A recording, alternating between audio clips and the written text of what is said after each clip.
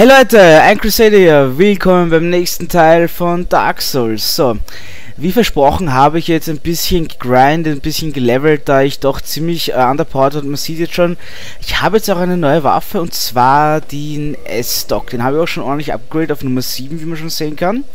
Weil, wie ich gegrindet habe, habe ich natürlich, äh, also im Undead Parish, viele ähm, Boulder Knights umgebracht und dadurch, die haben auch viele Titanite Shards gedroppt und da habe ich mir schon ein bisschen was leisten können von den Upgrades hier auch. Und was ich jetzt auch noch habe, ist der Bellowing Dragon Crest Ring. Was der bringt ist, na, kann man schauen, genau so. Ja, bla bla bla. Auf jeden Fall, er boostet meine Sorcery eben. Das ist ursuper, weil jetzt mache ich natürlich auch mehr Schaden, da ich im primären Magier bin. Und was ich jetzt auch noch habe, ja, also primär, wie ich es einfach gemacht habe, war eben, ich habe die Boulder Knights äh, ziemlich oft umgebracht, äh, bis ich ungefähr 20.000 Souls hatte. Das hat so ein Run hat ungefähr, wenn's, wenn man alles in Undead Parish umbringt, naja, 4.000, 5.000 vielleicht pro zählen. Das ist quasi, ich habe das einfach ein paar Mal gemacht, also 3, 4, 5 Mal, bis ich 20.000 Souls hatte, damit ich mir dann bei dem Andre of Astora, unserem netten Schmied, irgendwas ganz Tolles kaufen konnte. Und zwar, wo ist es denn? Das sind die normalen Keys, aber genau das. Crest of Artorias. Das, op das um, Sie den Crest opens Sealed Door in the Heart of Forest. Of the Forest. Und zwar, damit ist diese Tür gemeint. Hier ist man natürlich im Darkroot Base, äh, im Darkroot Garden. Und hier unten wären wir runtergegangen Richtung Moonlight Butterfly, aber die interessieren uns nicht, den haben wir ja schon umgebracht. Und dieses Crest ist wichtig, wenn man ähm, schnell Seelen farmen will, was ich dann auch gemacht habe und mich dann noch mehr bisschen was gekauft habe und jetzt äh, Level Up schon gemacht habe. Und zwar, ich zeige euch jetzt, wie das geht. Das ist eigentlich eine Methode, die nutzt aus, dass das Pathfinding nicht gescheit funktioniert in dieser Area. Und zwar, also man sieht schon ja da. Ich habe ihn schnell und ich meine, ich brauche eigentlich theoretisch keine Waffe, ich mache einfach mal ohne Waffe.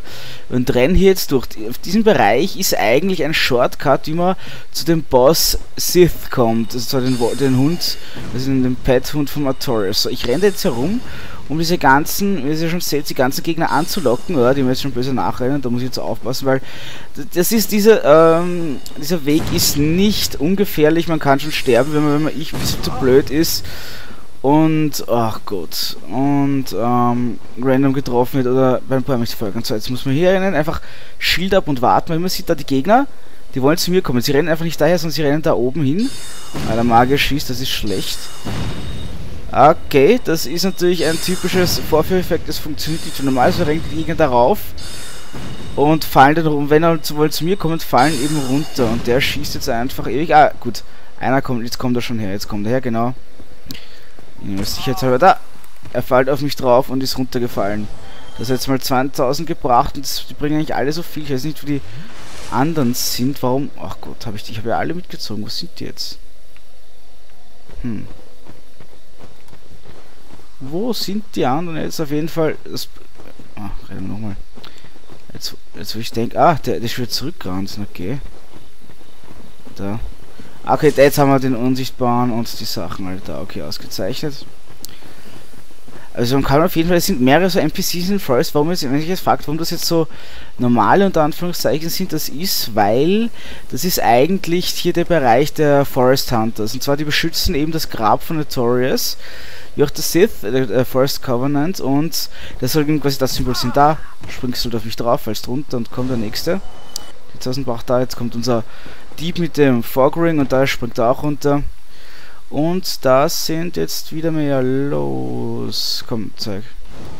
Ja, 5000. Also 6000 hat das jetzt insgesamt gebracht. 2000 von jedem. Man kann da mit eben auch bis zu 9000 bekommen, weil da weiter oben es gab noch irgendwo so ein, auch noch ein Ritter oder ein Priest, jeden, jedenfalls. Den können wir jetzt in One on One umbringen. Man soll, weil dann kann ich gleich zeigen, man soll die nicht unterschätzen, dieser NPC, da ist er genau. Du musst halt ein bisschen weiter raufkommen, je nachdem. Man sollte hier eben primär mal schnell sein. Da, Backstep, nein. Wir müssen eigentlich nur schnell sein. Ups, ne? Kein Backstep, warum geht das jetzt nicht? Damit man eben von denen nicht getroffen wird, so blockt. Ich möchte mit Estus ein Backstep machen, genau da, weil Estus macht extrem viel Schaden. Backstep Schaden und das Tolle ist, man kann Schild abhaben und trotzdem angreifen. So ganz kurz. Das ist eine ziemlich gute Range, das ist eine ganz nette Waffe, die ich jetzt benutzen werde öfters. Besser halt als die Axe auf jeden Fall. Ich möchte eigentlich nur ein paar Backsteps bekommen. Und man sieht eben schon, die sind gar nicht so richtig genau. Wieder ein Backstep.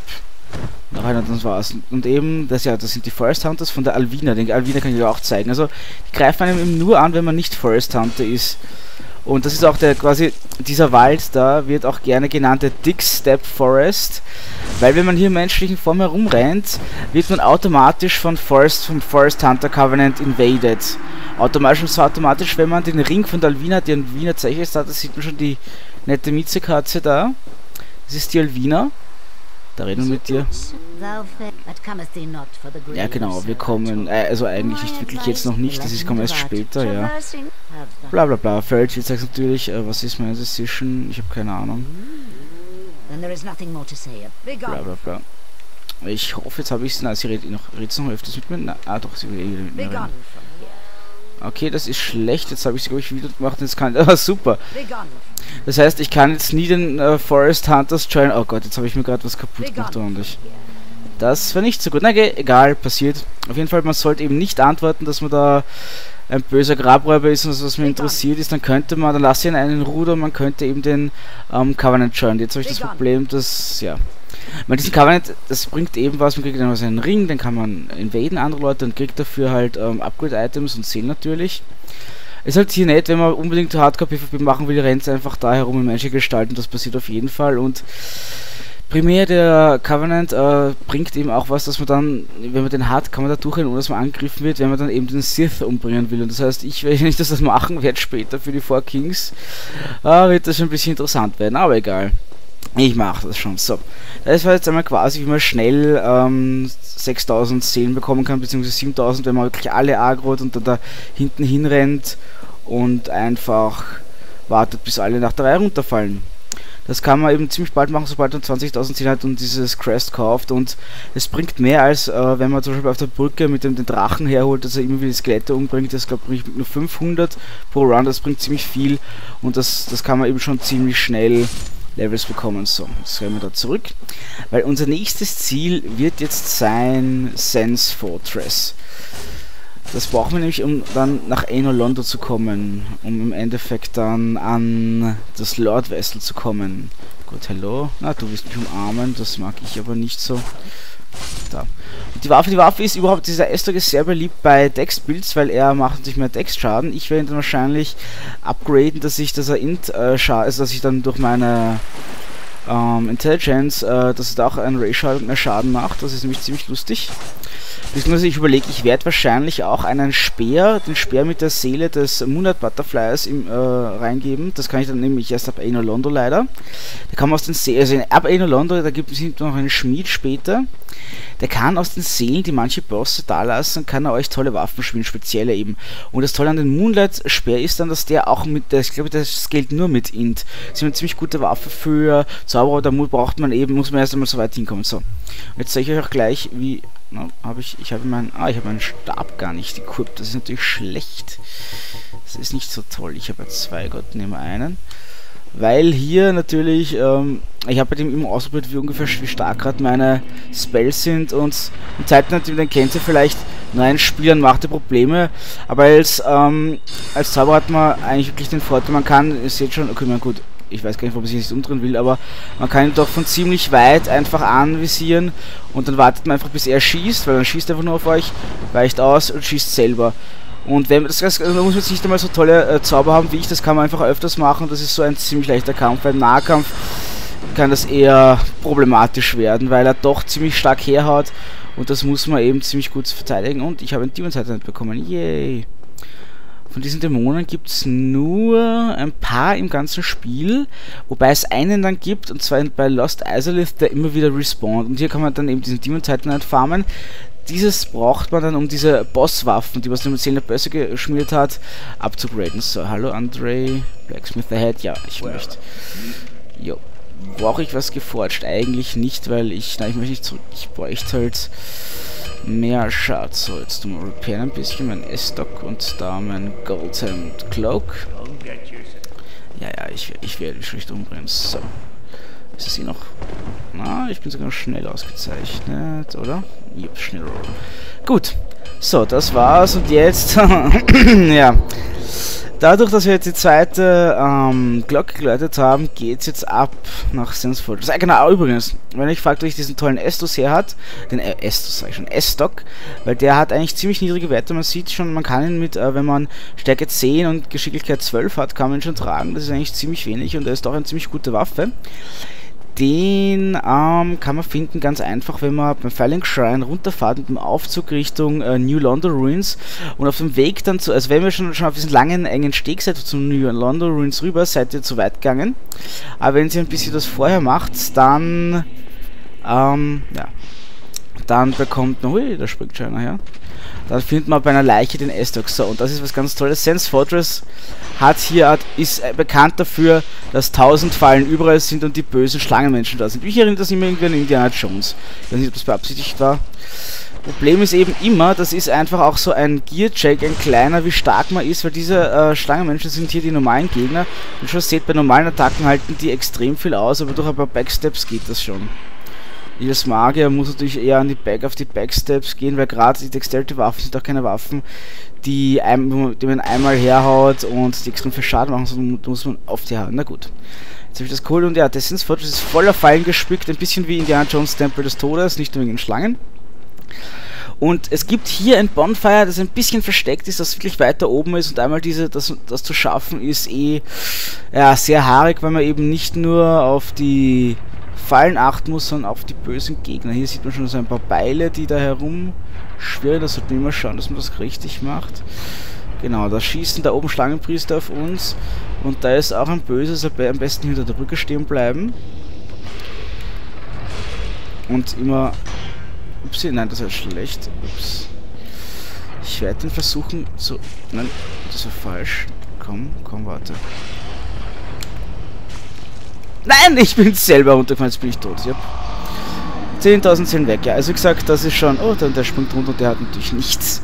Es gibt, genau, es gibt auch irgendwie einen Trick, wo man ihn ähm, dazu bringen kann, dass er versucht, zu einem hinzurennen und dann selber halt stirbt. So, ja. Ich überlege eh, ob ich nicht das, dieses Bonfire kindeln werde, damit ich dann immer 10 Estus-Flaschen habe.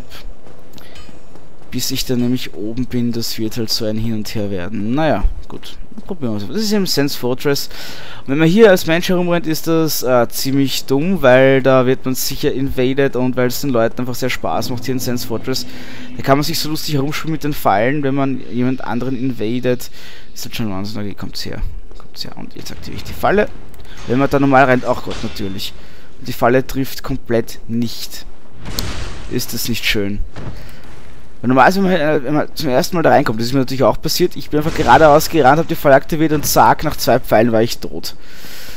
Aber man lernt daraus und man kann auch die Fallen zu seinem Vorteil verwenden, gerade bei solchen Sachen. Na gut, mit zwei Backsteps geht sich gerade nicht aus, dass ich die umbringe. Aber ein dritter hat dann Abhilfe gebraucht. Ist auch lustig, dass ich jetzt nur einen gearbeitet habe. Upsi, hallo. Backstep, ja. Und Estus ist, also Estus, warum sage ich dann Estus? Estus ist natürlich eine super Backstep-Waffe, also die macht auch ein bisschen mehr Schaden und ja, zack. Finde ich auch toll, dass wenn das so ein langes Schwert ist und der jemanden aufspießt damit. Das war Strong Attack, die nicht wirklich was bringt. Und jetzt normale Attacke und du bist tot. Yay. Gut, so jetzt probieren wir mal das jetzt gescheiter zusammenbringen. Und ich hoffe, dass ich meine 10.000 Seelen wieder bekomme. Ah, die liegen eh dort. Gut, gut, gut. Dann machen wir das jetzt nämlich, versuchen wir das ein bisschen anders. Dass wir diesen netten Schlangenmenschen von nebenan. Wo ist er jetzt überhaupt? Sag, will mich das Spiel nur trollen? Wo ist der lustige Schlangenmensch? Warum ist er nicht da? Was, was ist das? Warum? Das ist jetzt wirklich komisch. Ja, da unten sind auch ein paar lustige Zauberer, aber die sind mir jetzt auch wurscht. Hm. Gut, ehrlich gesagt, soll mir recht sein, wenn der jetzt nicht da ist. Jetzt warten wir mal kurz, sicherheitshalber. Gehen dann rein. Das wirklich Problem ist auch, dass hier dann auf engen Raum muss man auch gegen diese Schlangenmenschen äh, kämpfen und das kann schon problematisch werden, wenn man eben wie ich keine wirklich so orge Heavy-Hitting Weapon hat. Ah, da ist ein Zauberer, der schießt auf uns, da hätte ich jetzt vielleicht das Schild nehmen sollen, das... Oh Gott, ich bin dumm natürlich. Das Schild nehmen sollen, das Thunder mir was bringt, das mich immer gleich einmal heilen. Aber durch die Beile wird das auch ein bisschen aufgehalten. Die zwei sind ziemlich nah beieinander, so jetzt bin ich nah genug und jetzt bist du einfach abgestochen, dass ich da quasi durchgehen kann. Puh. Und ich habe die Falle aktiviert, die mich eigentlich umgebracht hat, aber in dem Fall hat sie ihn erschossen. Das ist natürlich schön. Und ich habe die Flammenbergwaffe bekommen. So. Was auch jetzt neu ist, in, äh, hier in Sense Fortress gibt es viele Mimics. Die Mimics erkennt man, also die sind im Kisten, die einen dann essen wollen, erkennt man ganz leicht an den Ketten. Und zwar hier seht ihr auf dem rechten Rand, wo jetzt gerade ungefähr da ist. Also diese Kette liegt in einem Kreis. Das heißt, es ist eine normale Kiste. Die kann man aufmachen, ohne Probleme. Wenn diese Kette jedoch gerade, uh, ich glaube, damit kann man Estos wieder upgraden, äh, egal, äh, Estos, Estok. Ähm, wenn diese Kette gerade wäre oder so eine Schlangenform, dann ist es ein Mimik, der euch angreift. Wenn man dann eine Kiste öffnet, wird man genommen von denen. So, und hier sieht man was Lustiges, und zwar, auf was da, eine nette, liebe Wache, aber die schläft gerade. Ja, ja, Schlaf im Dienst, so ist das. Das ist ein Wahnsinn die Hand nicht, das lassen wir den mal da und schleichen uns ein bisschen weiter vorbei. Oh, hallo, was willst du von mir? Oh je, doch nichts. Tja, hahaha, lololol. Ja, Indiana Jones, überall. Hier ist das Upsi, der ist wieder da. Hm, das, das will ich aber nicht, dass du den anderen jetzt aufwechseln, der jetzt von hinten kommt. Wolltest du nicht, dass das ist jetzt wirklich nicht so, das habe ich mir jetzt wirklich nicht so vorgestellt. Mach mal das. Wow. Oh yeah. Gerade erwischt wird zum Angriff gehen und das war jetzt eine... Hab super Schaden gemacht. Das ist toll, na gut. Also auf jeden Fall normalerweise ist es dann auch tot. Ich weiß nicht, das Spiel ist heute lustig irgendwie. Normalerweise sind die sofort tot. Also man sieht eben da oben, rollen die Steine die ganze Zeit runter. Ich gehe jetzt aber hier hin, weil... Oh ja, hier ist natürlich ein Schlangenpeppi. Nein, zwei sogar. Ah. Komm, tritt ihn runter. Ich, möch, ich möchte noch einen Stoß geben. Warum geht es jetzt nicht, wenn ich das will? Oh je, oh je, oh je, oh je. Steh auf und renn doch weg und renn doch weg und renn doch weg. Jetzt müssen wir aufpassen, wenn jetzt ein Stein kommt. Genau, kommen wir daher.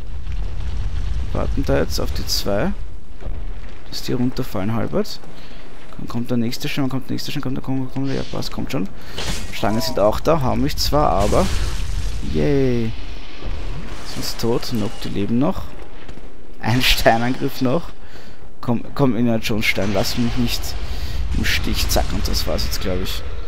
Beiden. Bingo. Ui, da unten liegt auch noch was Tolles. Auch von ihm. Schnell. Ein Man Serpent Greatsword. Super, dass ich in diesem Playthrough dauernd Greatswords finde und die aber, die aber ganz toll zu einem Strength-Bild passen werden, aber mir einfach nichts bringen. So, und hier sieht man eben, den haben wir schon getroffen, vor, genau direkt vor äh, Sense vor, dass wir reingehen wollten und jetzt ist er da auch, hm, ja. Hat Splendid News. Na dann erzähl mal, was du für tolle News hast. Ja, oh je, er kann da nicht weiter. Oh je. Er wartet ihm. Also das ist ihm der, die Knights of Katarina, die sich in Zwiebelrüstung umnennen. Das ist auch eine kleine que äh, Questline, kann man es nicht wirklich nennen, aber es ist halt nett, wenn man immer wieder in gewissen Situationen ihnen hilft und mit ihnen redet. Ähm, ist es eine kleine Geschichte, die dann weiter verfolgt. Man sieht das dann auch über die... Ups, hier kommt wieder ein Stein. Ich glaube, das ist jetzt nicht gut. Ähm, das ist eine Geschichte, die eigentlich ein ziemlich tra tragisches Ende nimmt, wo man dann in einer, unter Anführungszeichen, geheimen, ähm, geheimen Bereich, also optional, oh, nicht mehr optional, optionalen Bereich, dann, das ist die Conclusion von dem Ganzen sieht. Ui, da kommt ein Priester her. Na, hello. Jupp, so einfach ist das.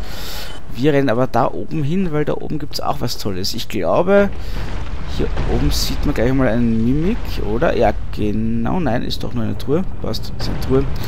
Da ist, glaube ich, ein Ring of Steel Protection. Genau, das bringt, das bringt euch einfach Rüstungs. Der Ring, der ist halt nicht wirklich so großartig toll. So, jetzt rennen wir den, der Kugel danach. Jetzt gehen wir durchs erste Vorgate. Nein, keine Angst. Da ist jetzt noch kein Boss dabei. Das ist einfach nur so halt quasi. Dass wir das erste Viertel halbwegs gemacht haben. So, das ist jetzt auch so etwas. Aber haha, genau. Die kommen jetzt von hinten, die Pfeile, nicht von vorne, wie man glauben würde.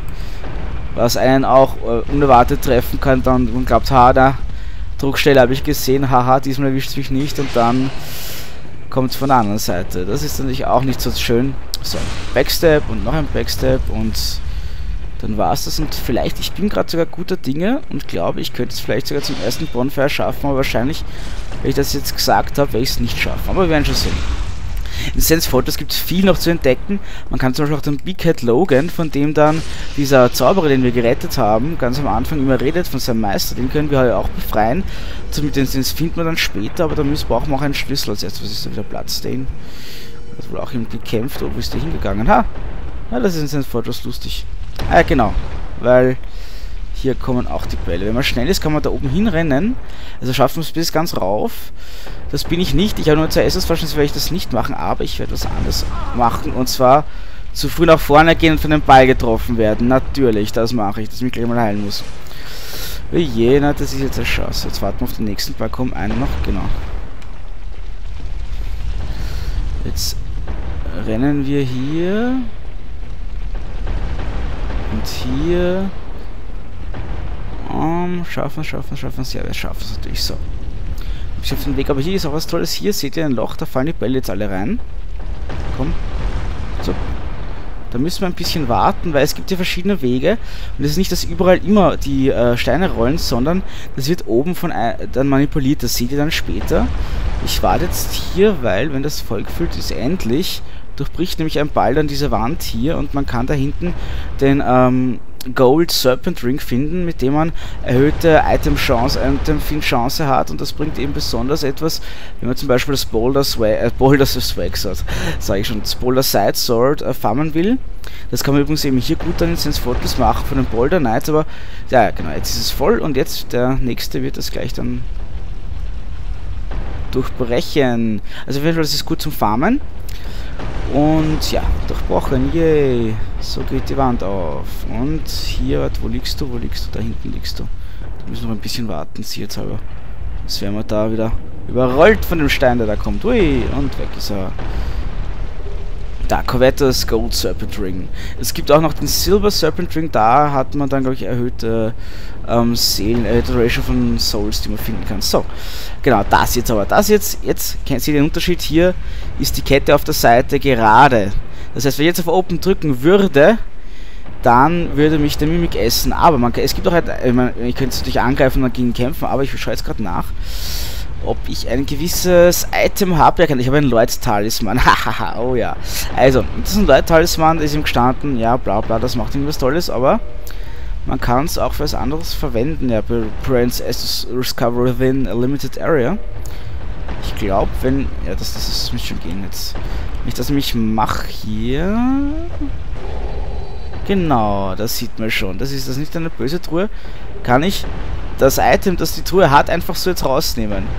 Wo sie schläft. Ist das nicht was Lustiges? Das ist der Mück. Aber ich greife ihn jetzt an, weil...